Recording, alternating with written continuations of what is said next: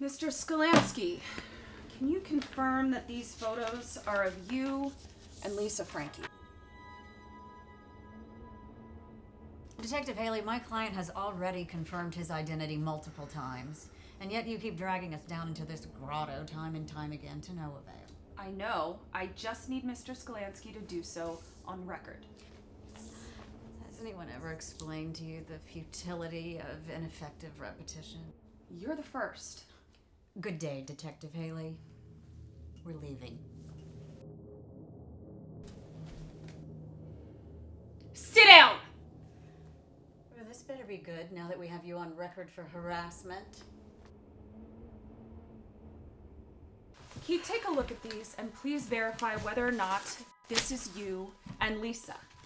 Where were these taken? They're stills from the surveillance camera off Keith's apartment building. Yes, that's him. And the girl? That's her. I don't see why this means anything. We've already confirmed numerous times surveillance footage of them together. Right, but not these. No, Detective, not these. Your point, please? We'll get to that in a second.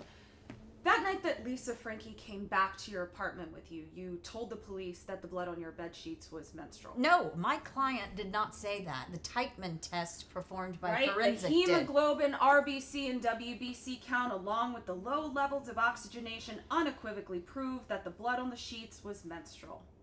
So yep. they the had report also shows semen samples on the sheets, as well as in the bathroom and by the kitchen sink. Well, the semen samples taken from the bathroom and by the kitchen sink had traces of blood that matched the DNA of the menstrual blood, but failed the Teichmann test.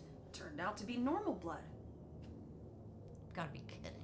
Further forensic analysis using infrared sensors noticed that the blood in the bathroom and by the kitchen sink, as well as Keith's semen, was smeared, as if someone had attempted to vigorously wipe it clean. Where in the hell are you going with this, Detective?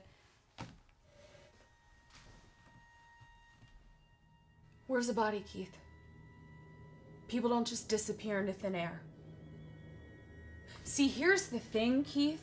Not only do we have all of this evidence, but we also have proof that she entered your apartment building because you just confirmed that for us on record. And yet, when we went through all of the surveillance footage of your building from every possible entrance and exit point and that of the adjacent buildings, well, Lisa Frankie is never seen leaving. So I'm gonna ask you one last time. And believe me when I say this, I will strip that building to its foundations.